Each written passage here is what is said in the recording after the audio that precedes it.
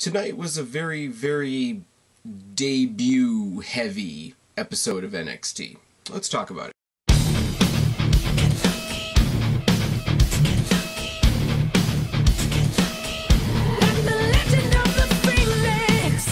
What's going on, everybody? It's your buddy, it's your pal Spaz Phoenix, the YWC Reality Check here with your NXT review for August 8th, 2018. And like I say, really, really weird, really, really weird episode of NXT. As I say, always go to the annotations up above. If it's your first time here, check out the other playlists. There is a playlist for my previous NXT reviews. There is a playlist for the brief period that I was reviewing 205 Live. There will be considering we kind of started talking about tonight, there will be a playlist up there very shortly for the 2018 Mae Young Classic. There's also the one-off, um, the, sorry, the um, what what do I call it? The off the cuff series, uh, which is sort of like one-off topical type of things. Uh, there's the Q&A if you want to participate in the Q&A as well. Speaking of the uh, off the cuff series, was supposed to be done last week. Life sort of got in the way. In the next week or so, Kristen and I will be doing the fantasy booking for WWE Evolution. If you got matches that you would like to see on your fantasy card, please feel free to put them down in the box below. We may or may not uh, include those in some of our fantasy booking for the show. It's going to be good whenever it does happen. Hopefully the end of this week, if not maybe the end of next week. Um, as I say, we did start off uh, preliminary stuff for the Mae Young Classic, so that will be set aside for a separate vid, which I'm probably going to also be recording tonight, in all fairness. But tonight's episode of NXT started off with a video recap of the history between Ciampa, Gargano, and Black. They bombard us with graphics that we're going to see Black versus Ciampa at TakeOver.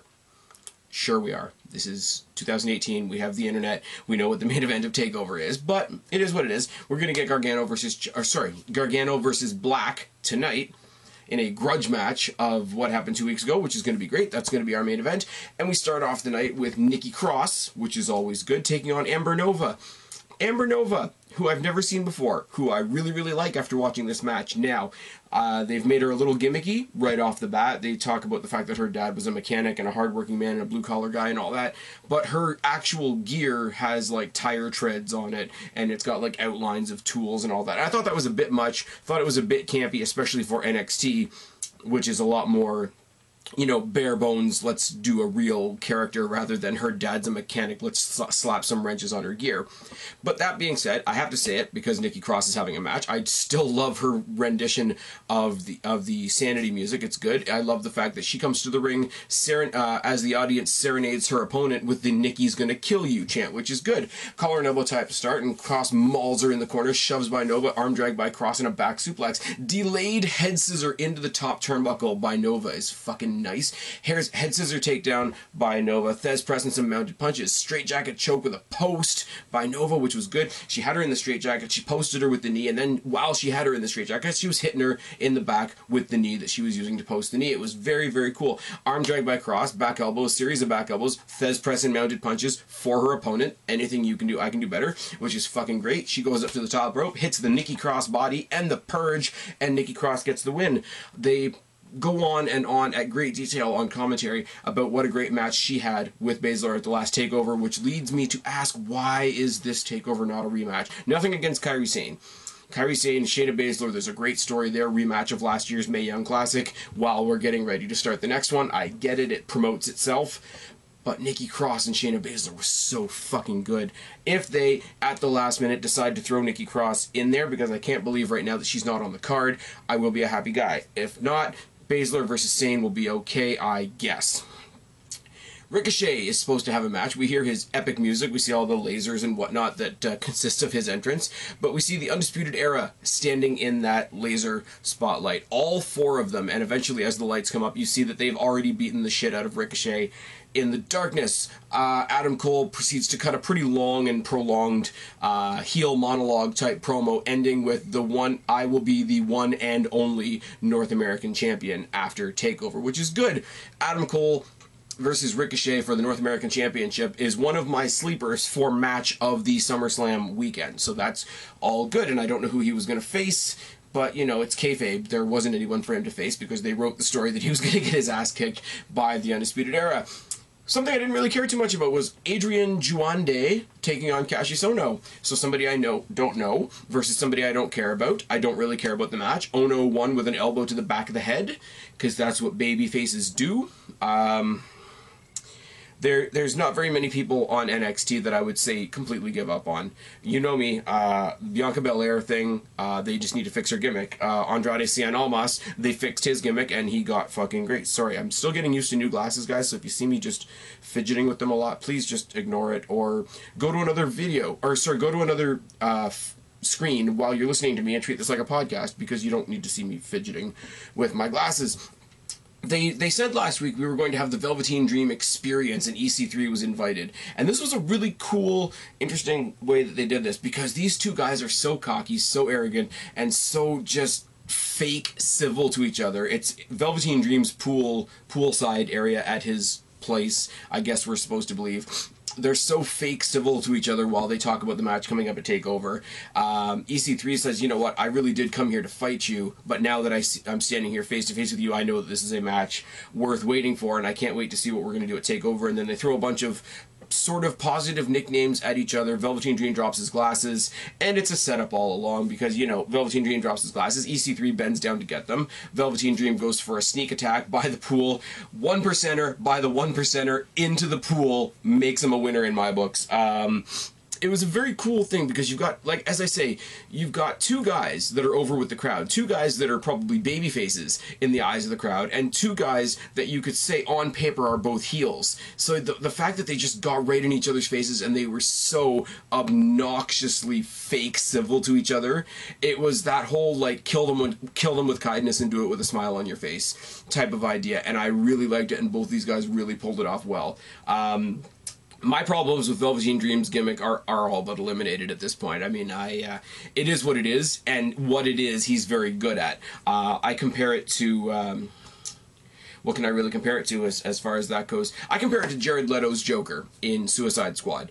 People think that Jared Leto did a bad guy, sorry, did a bad job playing Joker in Suicide Squad, whereas I think they took him in a really bad direction, and in that direction, he did a good job going in that direction. It's just the fact that, um, you know, it wasn't a direction that anybody wanted him to go. Therefore, they all thought it was bad. I think it's the same thing with the Velveteen Dream. I was I was resistant to the gimmick because I thought there was sort of shades of Goldust and Orlando Jordan and all that sort of thing in there. But I, am sort of coming to the conclusion that the way they took him, he's good at it.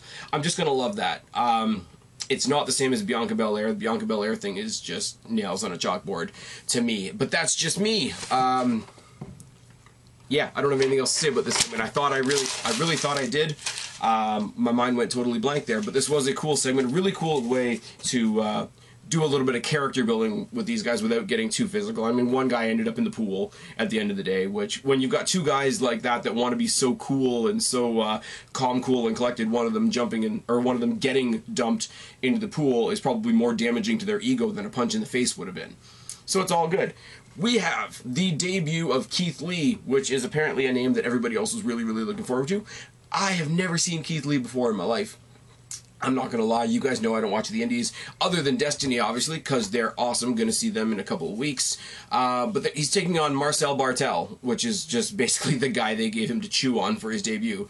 Kind of interesting for me, only in the sense that the last time I went to an NXT house show, I got to see Marcel Barthel, and I was making fun of his name because I couldn't pronounce it properly. But I saw him take on Tye Dillinger, and he's German, so he's always doing the nine, nine, nine, and every time he yelled out nine, in German, the crowd in Toronto, because we're cool like that, would shout 10 back at him, which which was all good. But this guy's really good in the ring. He took Tye Dillinger to about a 20 minute really good match at the house show that I was at. So I recognized his name more than I recognized Keith Lee, and this was supposed to be Keith Lee's big, you know, coming out on TV. Like we saw, we saw Nova at the beginning of the show. It was her first TV match on NXT. It's Marcel Barthel's first TV match in NXT, and it's Keith Lee's first TV match in NXT. So you'll notice now why I say that this show was very debut heavy. Now that's not a bad thing. That's a good thing. If anybody remembers that joke from Christian and DDP back in the day. Nobody does because it was it was lame.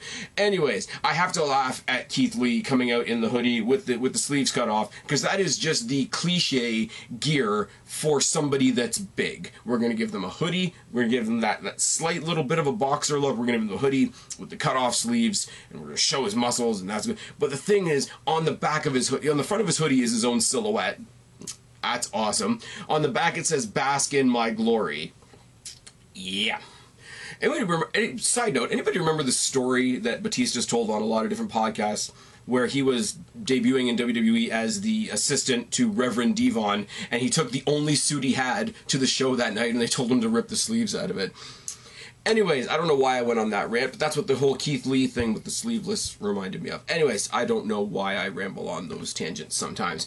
Uh, cheap shot by Barthel to start, right hand knockdown by Lee, because did I mention Keith Lee is fucking huge.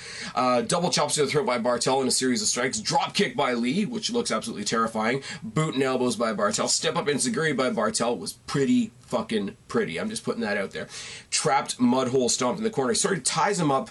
If you can imagine how uh, uh, uh, Andrade Almas does that thing where he jumps and sort of catches himself in the rope and kind of lounges for a second. Well, Barthel sort of forced Keith Lee into a position like that and gave him a mud hole stomp sort of off center of the corner. Two-handed chops in the corner by Lee nearly cave in Barthel's chest. He misses the splash, however, but there's a front suplex toss by Lee, a pounce, and a jackhammer, and he gets the obvious win.